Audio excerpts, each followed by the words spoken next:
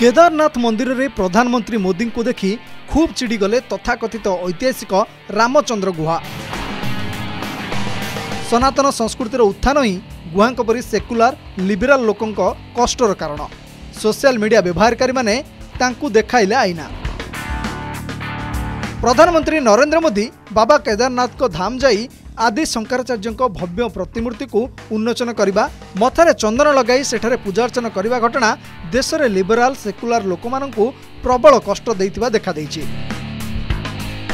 ଏହିପରି ଜଣେ ବ୍ୟକ୍ତି ହେଉଛନ୍ତି ରାମଚନ୍ଦ୍ର ଗୁହା ବିପ୍ ଖାଇ ତାର ସାର୍ବଜନୀନ ପ୍ରଦର୍ଶନ କରୁଥିବା ରାମଚନ୍ଦ୍ର ଗୁହା ନିଜକୁ ଐତିହାସିକ ବୋଲି ଦାବି କରିଥାନ୍ତି କେବେ କେବେ ସେ ନିଜକୁ କ୍ରିକେଟ ବିଶେଷଜ୍ଞ ବୋଲି ମଧ୍ୟ କହିଥାନ୍ତି ଓ ବିଭିନ୍ନ ସମ୍ବାଦପତ୍ରରେ ଭାରତୀୟ ସଭ୍ୟତା ସଂସ୍କୃତିର ବିରୋଧରେ ଲେଖାମାନ ଲେଖିଥାନ୍ତି ତେବେ ଏହି ତଥାକଥିତ ଐତିହାସିକ ରାମଚନ୍ଦ୍ର ଗୁହାଙ୍କୁ ପ୍ରଧାନମନ୍ତ୍ରୀଙ୍କ କେଦାରନାଥ ଧାମରେ ଯାଇ ପୂଜା କରିବା ଘଟଣା ଖୁବ୍ ବାଧିଛି।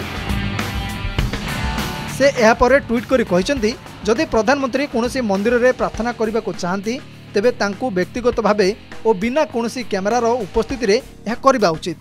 ସରକାରଙ୍କ ଖର୍ଚ୍ଚରେ ଏହିଭଳି ସାର୍ବଜନୀନ ପ୍ରଦର୍ଶନ ଠିକ୍ ନୁହେଁ। ସେ ତାଙ୍କର ପଦର ଗରିମାକୁ ଆଘାତ ପହଞ୍ଚାଇଛନ୍ତି।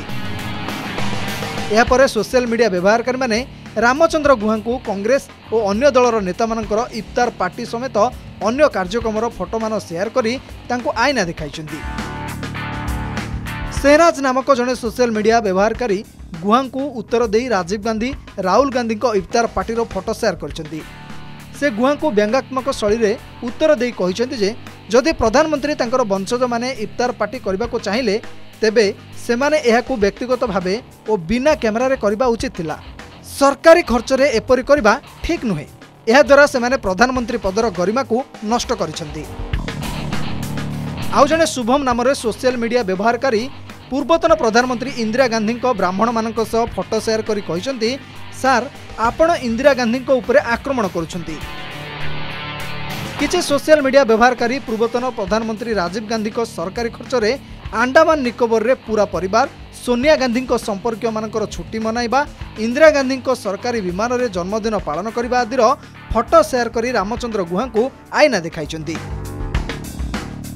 ରାମଚନ୍ଦ୍ର ଗୁହା ନେହେରୁଙ୍କ ଉପରେ ଇତିହାସ ଲେଖିଛନ୍ତି। ନେହେରୁ ଗାନ୍ଧୀ ପରିବାରର ସେବାରେ ତାଙ୍କର ଜୀବନ ଲାଗିଛି। ତାଙ୍କ ବର୍ଗର ତଥାକଥିତ ଐତିହାସିକମାନେ ବିଦେଶୀ ଆକ୍ରମଣକାରୀ ମୋଗଲ ଇଂରେଜୀମାନଙ୍କର ଇତିହାସର ମହିମା ମଣ୍ଡନ କରି ଆସିଛନ୍ତି।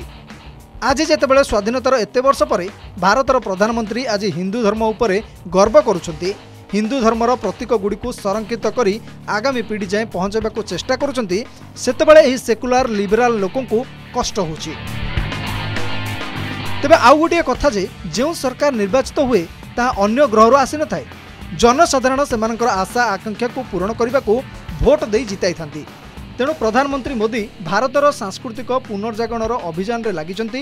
ତାହା ଭାରତୀୟ ଜନସାଧାରଣଙ୍କ ମନର ଇଚ୍ଛାରେ ଯେ ପ୍ରତିଫଳନ ତାକୁ ନିଜକୁ ସେକୁଲାର ଲିବେରାଲ ବୋଲି ବୋଲାଉଥିବା ଲୋକମାନେ ସ୍ୱୀକାର କରିନେବା ଉଚିତ। ଡକ୍ଟର ସମନ୍ୱୟ ନନ୍ଦଙ୍କ ଇନପୁଟ୍ ସହ ବ୍ୟୁରୋ ରିପୋର୍ଟ ଅର୍ଗସ୍ ନ୍ୟୁଜ୍।